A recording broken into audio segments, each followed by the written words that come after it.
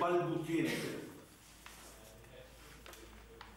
che in, avendo in mano le tecniche scritte su un foglio di carta ha voluto provare a casa prima della fine del corso su una persona di famiglia. Torno a dire, è, aveva una, un difetto di pronuncia che ostacolava la, il proferimento delle parole e quindi attraverso il proferimento delle parole l'immissione dei concetti che le parole intendevano portare con sé. Egli pose la persona su cui voleva esercitare, prima ancora dell'inizio delle esercitazioni, la sua facoltà, seduta su una sdraia, si mise dietro di lei e cominciò a proferire le parole leggendo le formule della, dello scritto che aveva in mano e ogni tanto andava a vedere di sopra se gli occhi si erano chiusi. È una situazione che, diciamo così, dal punto di vista delle tecniche induttive è la negazione della effettività delle induzioni. Impossibile sembra indurre in sonno ipnotico una persona trattata in questo modo.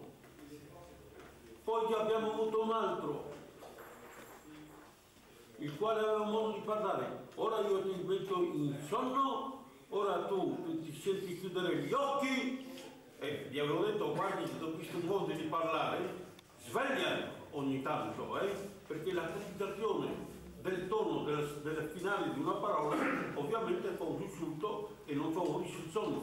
Tuttavia ha voluto esercitare e ha ottenuto, anche il primo ha ottenuto, Ambo e due hanno ottenuto l'ipnosi. Un altro paradigma, come si dice, paradigma va bene, quello che, quello che. Qui alcuni anni fa abbiamo avuto come di consueto un corso, ma però questo corso ho avuto qualche anno fa, alcuni anni fa, di cui voglio parlare, c'erano due medici venuti da un'altra scuola. Questi durante il periodo delle esercitazioni vollero, uno di loro volle mostrare di a saperne più di me. E cosa fece? Siccome aveva una dimestichezza con l'altro, erano diciamo così in coppia, in certo senso, gli prese un braccio, prima lo, gli diede, lo ipnotizzò con gli occhi e con le parole, poi le prese una mano, gli attese così e gli disse il tuo braccio è una sbarra di ferro, tu non puoi più piegarlo, cioè produsse la catalissi non con movimenti della mano ma semplicemente con l'ordine ipnotico, con una suggestione la cui potenza produttiva era dovuta alla autorevolezza della sua personalità.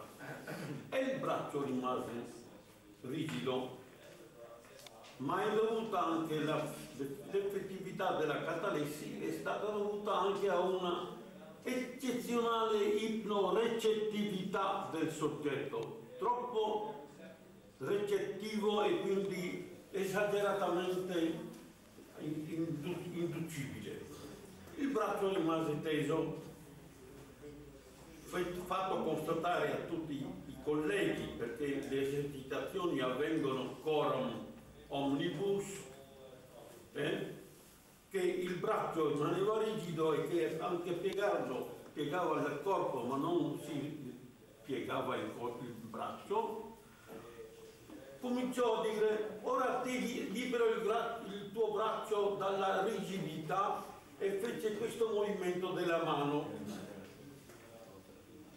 Il movimento dal centro, anche se è soltanto una parte, alla periferia, in tutti i testi di ipnosi e simili, è insegnato come mezzo per produrre la contrazione di tutti i muscoli dell'arto preso in considerazione, quindi l'inguainamento del sistema osseo in una rigidità muscolare, contratti i muscoli. Lui diceva ti libero, il tuo braccio diventa elastico e faceva il gesto che nei testi è insegnato a produrre catalessi.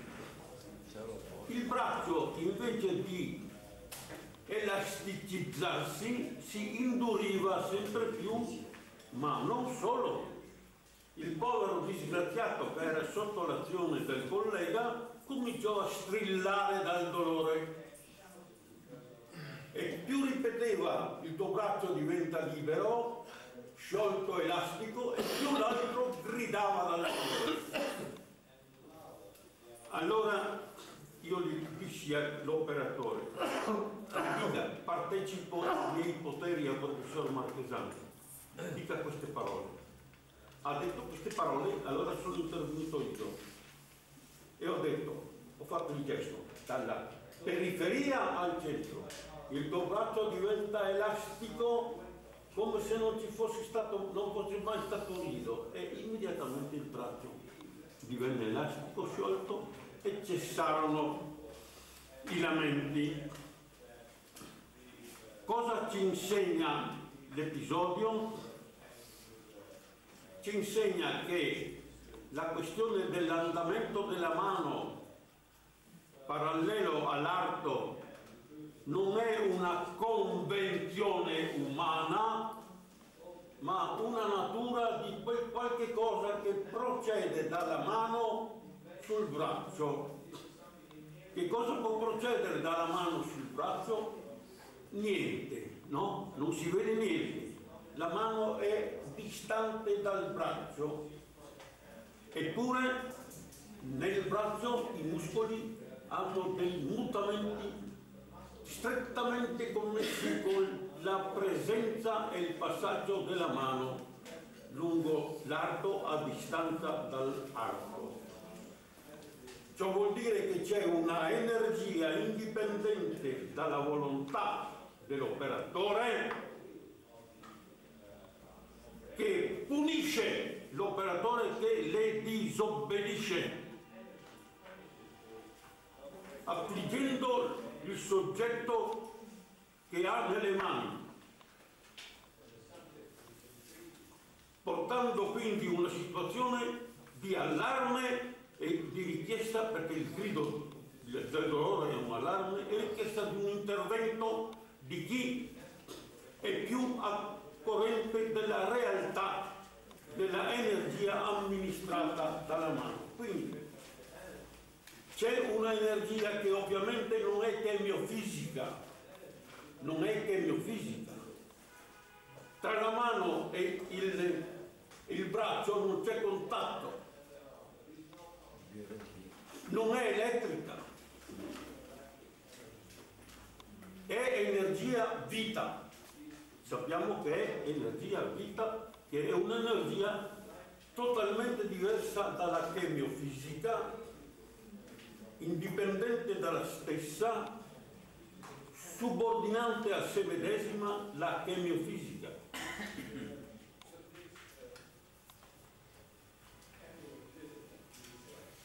Quindi queste proprietà e questi fenomeni esistono per se stessi e sono inerenti alla, a quella energia diversa dalla chemiofisica che è l'energia vita. Nessuna enciclopedia e nessun filosofo nel corso dei secoli ha portato la definizione della vita. È una realtà. Qui siamo vivi, cioè abbiamo la vita tutto indosso, è una realtà innegabile. che si sottrae alla definibilità. Guardate tutte le enciclopedie, tutti i testi di filosofia, vi diranno la vita è quella cosa per cui uno è vivo, sano, eccetera. Questo non è una definizione, è una enunciazione di effetti della vita, non della entità, della consistenza della vita. Non si può dire altro che questo. La vita è una energia diversa dalla chemiofisica, dominante la chemiofisica, conferente biologia alle sostanze della chemiofisica, rendendole vitali e amministrabili da essa medesima. È un'energia che sembra avere una sua personalità e pur tuttavia non ingombrare quella che essa rende consistente in se stessa, che è il Dio umano. L'io umano è una energia, una carica di energia vita riprendiamo dopo. Guarda che tardi è. Quasi Ah, per fatto, è vero, passa il tempo. Ah, io credo che fosse già pomeriggio. Sì, sì. E invece abbiamo Sentite un po', sì, perché abbiamo preso per, per pranzo l'ottimo, diciamo così, buffet che abbiamo fatto prima. Allora, io eh, farò delle precisazioni a proposito di quello che ha riferito il professor dopo, naturalmente, per quanto riguarda l'ipnocondensazione in Cecoslovacchia in rapporto a quella nei paesi latini, fra l'altro. Il primo intervento a proposito delle parole del professor Marco Marchesan in appoggio eh, dei concetti di Marco Marchesan. Siccome eh, il professor Marchesan aveva detto che non esistono eh, tre concetti dell'energia vitale, l'energia non si dirige secondo certe leggi fisiche e della fisica chimica sono le concentrazioni molto importanti e si può dire che addirittura oggi nella scienza odierna si può trovare quelle confermazioni. Eh, per esempio c'erano dei grandi scienziati, il filosofo francese Henri Bergson, che parlava del concetto energia vitale, energia vitale. Poi ci sono per esempio eh, il grande fisico Niels eh, Bohr, danese di Copenaghen, e il fisico più grande, si può dire quasi come Alberto Einstein, eh, che aveva eh, anche espre espresso il fisico nucleare, eh, che è uno dei più grandi fisici della fisica nucleare, diciamo così, eh, come Enrico Fermi, Einstein e così via, che aveva detto anche lo stesso e anche il biologo, bioneurologo Roger Sperry, eh, premiato di Nobel 81 di Pasadena americano, che aveva espresso eh, eh, lo stesso concetto che l'energia vitale, bioenergia, non si può dirigere soltanto uh, secondo le leggi uh, fisiche e, e chimiche. E questo sarebbe una piccola modificazione dei principi dei grandi scienziati del greco Pitagoras e uno dei più grandi scienziati del mondo, il grande Galileo Galilei. Io sono molto fiero di aver frequentato la stessa Università di Padova come tre secoli fa Galileo Galilei eh, ma i principi di Pitagoras e Galilei eh, che avevano detto che nella scienza e la matematica e la statistica eh, vale per tutto, questi concetti si sono un pochettino modificati.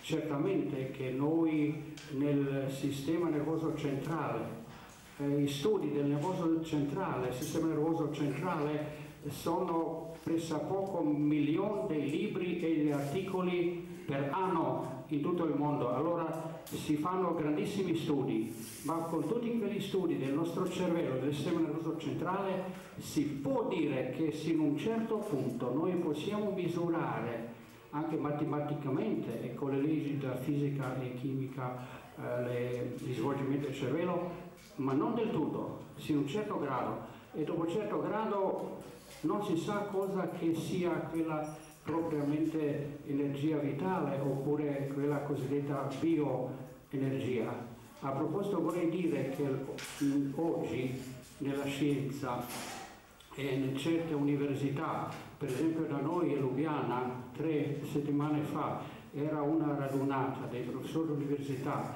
alla facoltà di medicina che dicevano che bioterapia non esiste. Io direi così, uno può essere scettico per quanto riguarda questi concetti e dire io non so se esiste o non esiste, ma categoricamente questo negare io non farei. Io avevo citato adesso dei grandissimi scienziati, Henri Bergson, Roger Sperry eh, era il primo che divideva il cervello da parte di studi come funziona il cervello destro e sinistro a Pasadena, eh, Niels e così via. Tanti scienziati hanno, hanno, hanno, dichiarato lo stesso, che se in un certo punto va la matematica fisica, siccome noi oggi sappiamo che, che anche la fisica è un po' modificata di quello che diceva Einstein e Newton eh, che, non è, eh, che, non è, la scienza esattissima, la fisica, io non vorrei fare argomenti su quelle microcosmo e così via sul mondo nucleare. E addirittura si può dire oggi che anche la matematica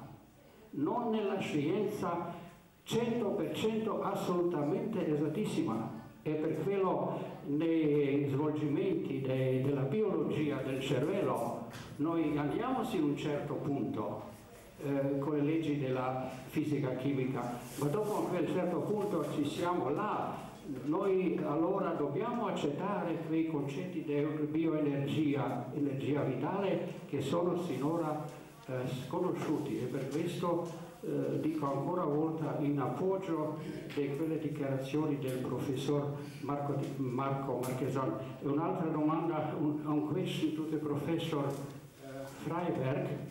Uh, concerning age regression phenomena, uh, life intrauterine seems to be, uh, to be okay, but uh, the previous life, it is uh, opinion uh, different, are opinion difference on scientists, the scientists say, on people say, yes, it exists, age regression in the life, previous life, and others says it is not true, not exist. And uh, could be very interesting what uh, do you mean, Mr. Professor, about this phenomena, age regression?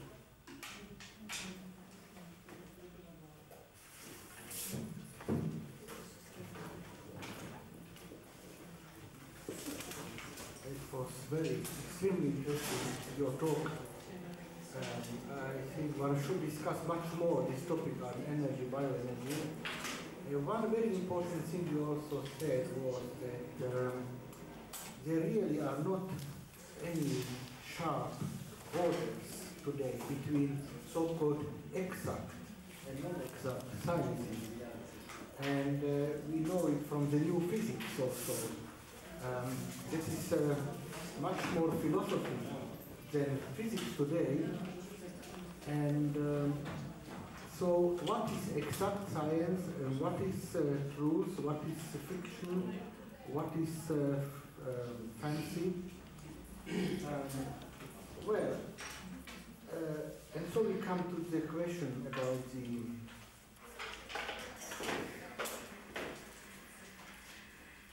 if it were past lives or reincarnation or whatsoever. Uh,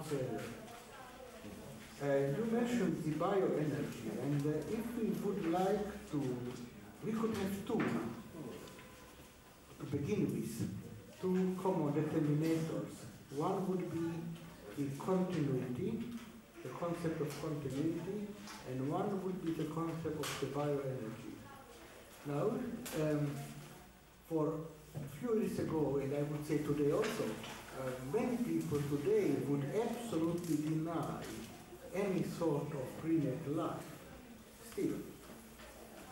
And um, so, uh, but more and more people would accept it and would consider it as a very logical thought. uh, very few people would accept today an existence of the pre-life, sort of um, reincarnation or whatsoever, however you would call it. Because, like the prenatal life, it is not uh, in agreement with common sense. And um, I could imagine, I uh, wouldn't uh, really, I, as, I don't know if somebody here could give uh, evidence. I wouldn't have any evidence, but uh, I uh, wouldn't, uh, I wouldn't in by no means uh, deny the possibility of existence of different kind of lives. And um, in that case, I would, in my understanding, I would, I could um, put it in agreement with the bioenergy and see it as a sort of uh, uh, energy coming from the parents, grandparents, etc., and generations. And you can call it energy, I don't know. We have to find another suitable term. Uh, it is, uh, for instance, uh, C.G. Jung uh, had uh, ideas about archetypes, which in in a certain sense, archetypes would also be a sort of repetition of life, of life in generations. Uh, what I did practically, and it would be very interesting to hear from you who have more experience if somebody is here. I tried to do regression in hypnosis back before conception. And uh, there are many people who did it. I can talk about only about my own experiences. And um, I have probably not enough skill in that uh, to be able to interpretation. But I had a very clear feeling with a couple of people, patients or people who were, whom I do it with, that there was some kind of remembering, some kind of uh, of um, um, déjà vu, déjà vécu phenomenon, um, and it couldn't be only fantasy, or it wasn't. It wasn't definitely su- uh, suggestive. It was something those people could remember, which wasn't in connection with their present life, and uh, which probably wasn't even being talked to them. So uh, I am very open. Personally, I am very open for for a possibility that uh, any case, Prego, Volete? Grazie, scusate il disturbo. No, sciolgo io. Ti sciolgo un nuovo sciolgo. Grazie. personally, I would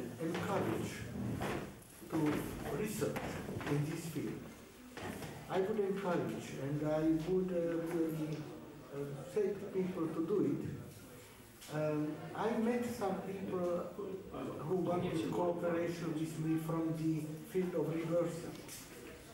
And uh, they go often back because it is in agreement with their philosophy also. It is very much coming from the Eastern, Eastern Zen and other Eastern philosophies, uh, Buddhism, Zen Buddhism. And um, uh, the reports they gave me were very interesting and uh, some of them very convincing. So for my part, I, I leave it perfect, completely open, and I wouldn't be surprised if we could prove one day that there is a connection or a continuity. To me, it would be, um, again, almost metaphysical, not to um, consider the possibility of a continuation. Uh, we say the generations before they agreed on continuation from the delivery. Now we say there is a continuation back to the conception. Uh, then you are uh, researchers today who are talking about the consciousness in sperm and consciousness in ovum. So why not to go back and say, all right, this is a continuity and uh, there is an immortality of energy. And um, so leave it open and uh, see.